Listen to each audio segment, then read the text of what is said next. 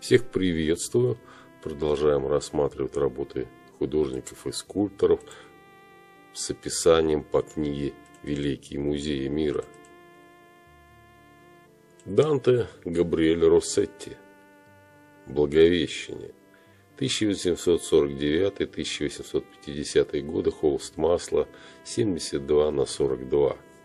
Данте Габриэль Рассетти – английский художник, рисовальщик и поэт.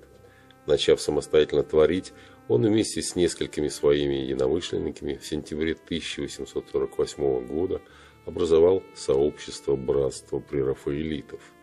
Данная картина – одно из ярчайших воплощений идеи прерафаэлитов – создание работ в стиле и эстетике итальянской живописи эпохи до Рафаэля. И это даже провоцируется самим художником обсуждать с точки зрения канонов христианской иконописи. Латинская фраза «се раба Господня» слова Девы Марии на приветствие Архангела Гавриила в изложении этого эпизода Евангелия от Луки. Здесь три важных персонажа – ангел, Дева Мария и голубь Святого Духа, нисходящий к ней. На Западе этот сюжет появился впервые, по-видимому, в готическом церковном искусстве. Его редко можно видеть без дополнительных символических элементов, некоторые из которых взяты из апокрифических Евангелий и Золотой легенды.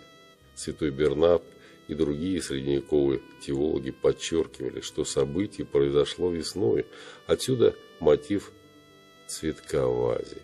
Впоследствии, как правило, изображалась лилия, символ девственной чистоты.